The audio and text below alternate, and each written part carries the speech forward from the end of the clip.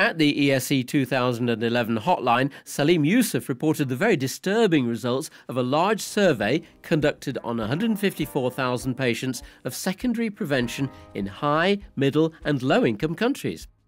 In 628 urban and rural communities, they measured the delivery of the most proven drugs for secondary prevention, such as aspirin, statins, beta blockers, and ACE inhibitors. What we found was some very terrible news, and the terrible news was that the majority of people are not getting these treatments. This gap in effective treatment was there in the rich countries, but much more marked in the middle income and the low income countries. And it was even more marked in rural areas compared to urban areas, indicating that access to these drugs is a major issue or access to health care. These findings highlighted clear room for improvement, which the health delivery system planners might need to consider. The gap is be largely because we don't have a proper system of, of making sure patients get these conditions. The second is these are so simple that it is better to have non-physicians involved. And the third, we need to put it all into a single pill to make it easy for patients. The impact of postprandial triglycerides on cardiovascular risk has been unclear, and the Homburg cream and sugar study presented during ESC 2011 Hotlines throws new light on this clinical issue. Glycemic and triglyceride metabolic tests were accessed in 514 patients with stable coronary artery disease.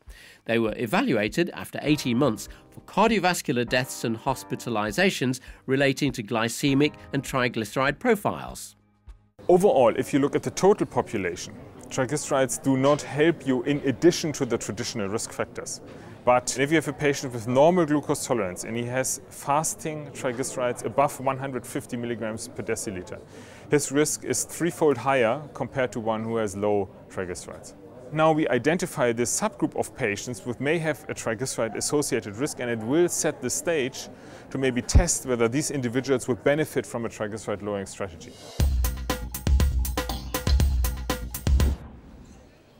As many as 50% of dyslipidemic patients could be inadequately treated in Europe.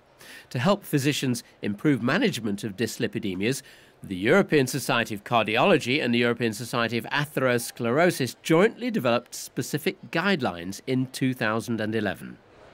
The main target is not anymore uh, total cholesterol, but uh, LDL cholesterol. We uh, introduced uh, uh, four steps of risk, I would say, which are taking into consideration HDL cholesterol. So we don't have anymore only uh, high risk patients, but we also have moderate risk patients, for instance, which are in real life a majority, and of course they have to be addressed properly. And another important issue in this guidelines is combined therapy. When we have patients which do have uh, decreased LDL cholesterol but still have low HDL and increased triglycerides, again, combination therapy has to be used since they also contribute significantly to cardiovascular risk.